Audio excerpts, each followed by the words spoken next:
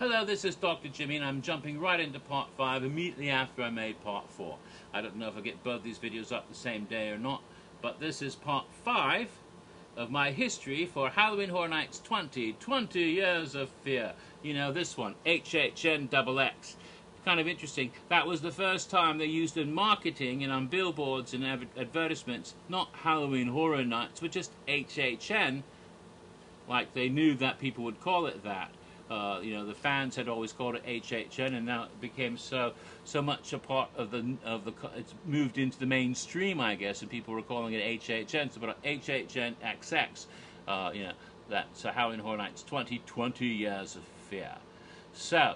Uh, in the previous video, I began talking about the houses at last, and I was talking about Hades Gates of Ruin as the first house, and I was left in the in the Hydra corridor talking about the only one head.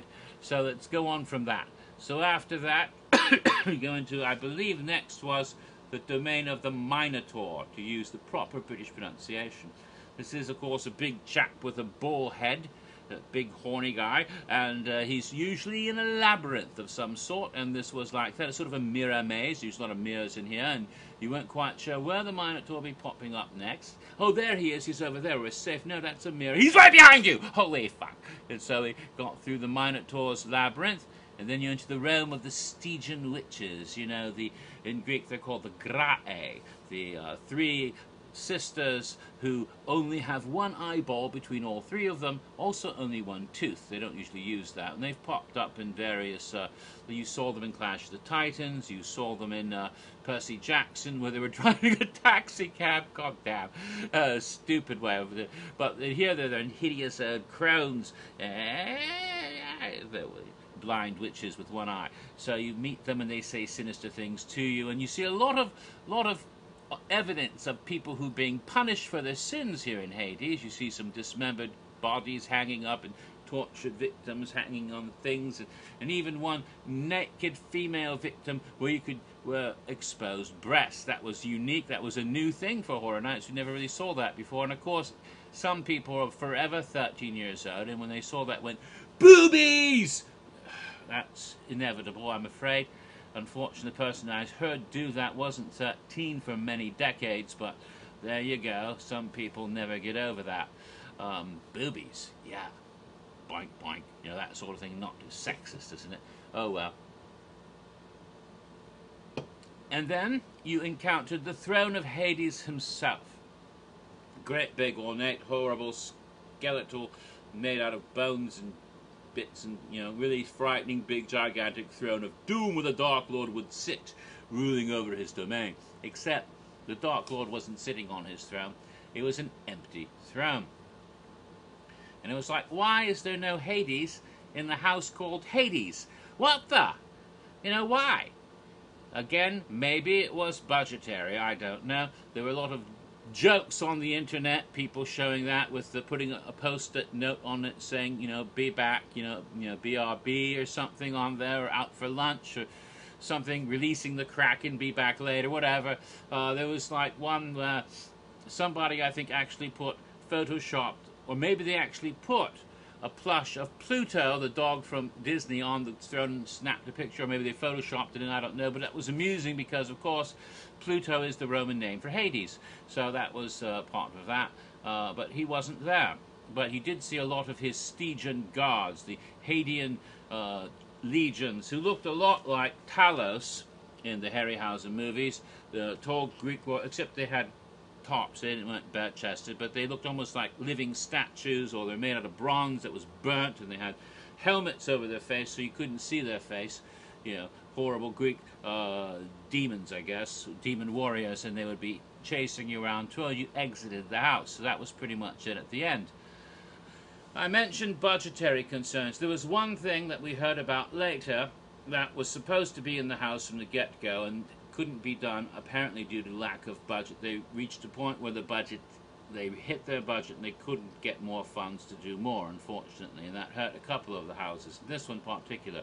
There was supposed to be in this house Cerberus, the three-headed dog who guards the underworld. Of course, we've They used that in Harry Potter, where they had a three-headed dog guarding an underground chamber. Something similar here in Greek mythology, of course. It's where it comes from, the iconic, the archetype of a three-headed bow wow that guards uh, Hades. And uh, I don't know if it's going to be a puppet like the werewolves we saw later in, in later years, if it was meant to be an animatronic like they had in the thing.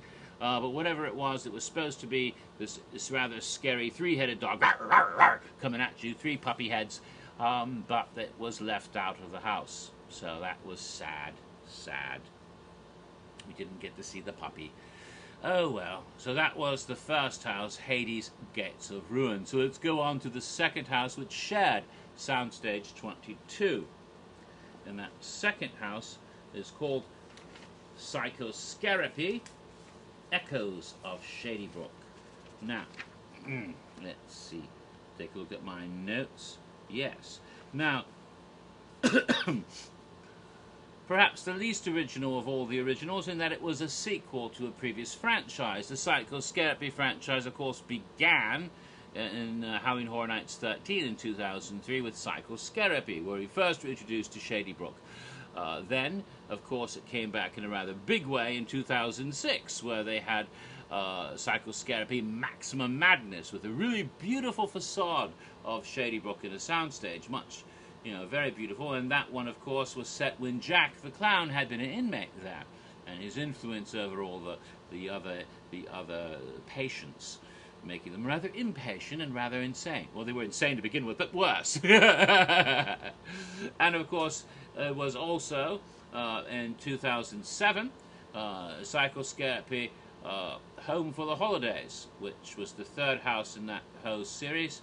And that idea was that the patients got out and were terrorizing a little town somewhere in upstate New York, which also places the asylum in upstate New York, which is why I've always thought this is the asylum that Mary Agana had some connection to, which she talked about in her notebook because her practice was in New York, as of course, if she's been investigating by a Manhattan detective, obviously she was somewhere in the vicinity. So that was my, uh, even though she's originally from Carey, Ohio, of course, we know that, but that's where she ended up in her practice. So that was, uh, that was PsychoScareapy. And so this was the fourth PsychoScareapy uh, house. And the idea for this was that it took place many, many, many years later than all the other ones, after Shady Brook had closed and the asylum itself had stood abandoned for many years and became decrepit and derelict. And children would say, oh, the place is haunted, and they go in and peek around. And so that was what was supposed to be, and it was, of course, haunted by the spirits of the departed doctors and patients who had died horribly in the, in the asylum, unless some of them might still be alive, lurking around for some reason, homeless. Uh, you know, there was a lot of a lot of patients who were released in the early 1980s during the Reagan administration. And some of these people uh, ended up becoming homeless, and some actually went back to old asylums and tried to move in uh, because that was the only home they knew. Perhaps there's a bit of that here, I don't know. But uh, creepy. So you go into the uh, into the house, and the facade is the same beautiful facade, the Art Deco structure of the Shadybrook Asylum, except now falling apart, derelict, you know, it's no longer the beautiful like it was when it was new, when you saw it in Maximum Madness. Now, of course, it looks like it's in great disrepair and abandoned. There's grickle grass growing in the lawn. Uh, well, of course, it's not really grickle grass. That grows around the Once-ler's lair over in uh, in another park, but it looked like grickle grass to me. I have to stop now. I'm getting a phony call I have to answer.